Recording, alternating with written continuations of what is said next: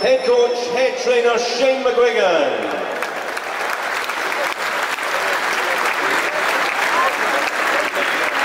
Yeah, ladies and gentlemen, he doesn't even need steps. And he comes. Shane, how are you? Everything's going well, I, I take it. Yep, all going right. Got uh, four boxes to show, so looking forward to that. So you're going to be a busy guy. We are going to get three of your boxes in just now. Two of them, we're going to let them do their own thing. Tell us a little bit about Josh Pritchard. Yeah, well, uh, Josh is he's making his debut. He was one of the chief sparring partners we called for the uh, Kiko Martinez fight, for the kick and punch. And he's an exciting talent. And Conrad and uh, Anto both going to just do a bit of a just a bit of a mock-up uh, shadow boxing, so uh, should be good fun.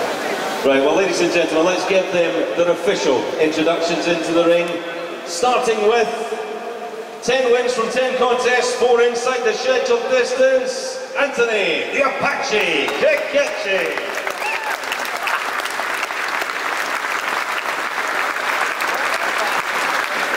How are you, Anto? Looking forward to this ITV. Can't wait.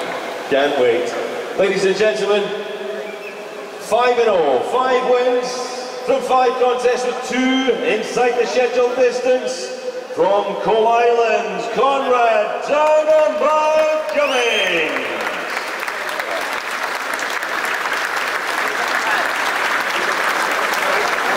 Conrad, there's no need to ask you if you're looking forward to this. You're always looking forward to a fight, aren't you? Come here. Can't wait.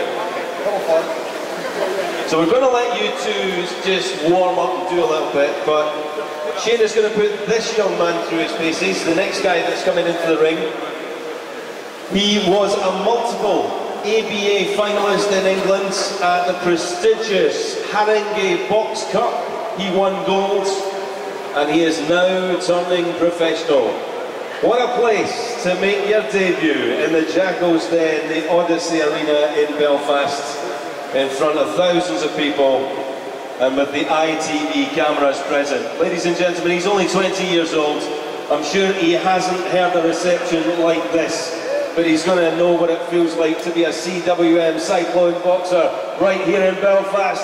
From Portsmouth, Josh the Punisher Pritchard!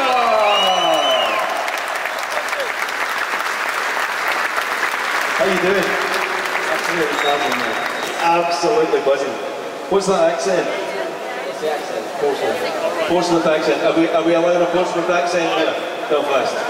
Yes, an adopted Belfast son, like myself. I'm going to leave you with the main man to do a bit of bad work.